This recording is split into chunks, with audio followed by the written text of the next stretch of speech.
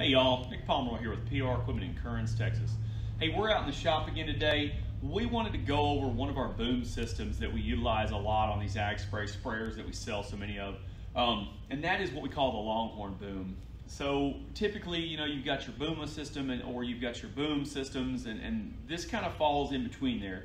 So this is more of a hybrid system to where it's got the boomless nozzles on the outside as well as a center boom section through the middle.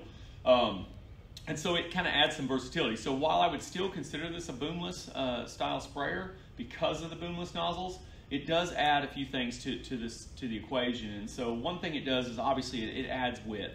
A standard boomless for us is, a, is like 32 feet of spray width. When we add this center section in, we gain about seven feet here. So we get really close to 40 feet of spray width. Um, so you add that spray width in, but you also add some versatility. So when we start looking at that, uh, there's a lot of things that we can do with this. And, and, one of the one of the big ones that, that we see a lot of people doing is, is maybe you're running alongside a fence row and the, the property across the fence is not yours and you do not want to drift or spray over that, that side. You know, you might run alongside with the, the fence line with this edge of the boom and cut this boomless nozzle off and then you just run that center section and that inside nozzle and do your first pass like that, kind of kind of establishing a headland. Um, so a lot of people use it like that. Some people will use maybe just a boomless nozzle just to spray a fence row or, or whatnot, or a ditch or whatnot. Um, and then some people even drive down the middle of a road and they'll use both boomless nozzles but not the center section and spray both ditches at the same time. So there, there's a lot of things you, you can kind of do with it. In addition to, you know, maybe maybe you've got a bad spot that you missed some some weeds on, or they're just thick in that area. You could actually just shut off the outside boomless nozzle and just spray with the center section.